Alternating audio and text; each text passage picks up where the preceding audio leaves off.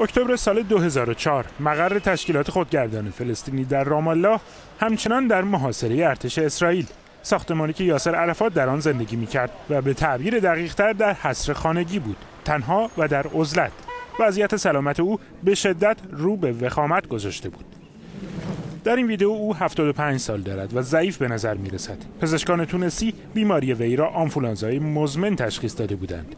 نخستین نشانه های زن و تردید نسبت به مرگ طبیعی او در بین اطرافیانش پدیدار شد.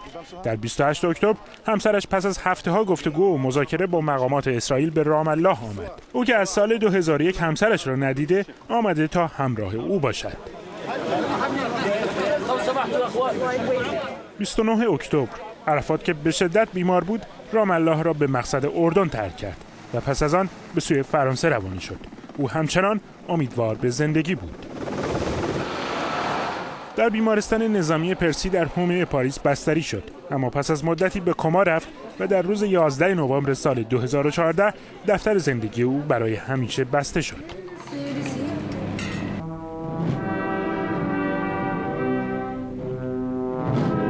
دولت فرانسه در دوره ژاک شیراک رئیس جمهوری وقت برای او مراسم بزرگداشتی برگزار کرد. با حضور شخصیت سیاسی از جمله نخست وزیر رهبر پیشین فلسطینیان روز 12 نوامبر در رام الله به خاک سپرده شد و نه بیت المقدس آنچنان که آرزویش را داشت. اسرائیل مانع از آن شده بود.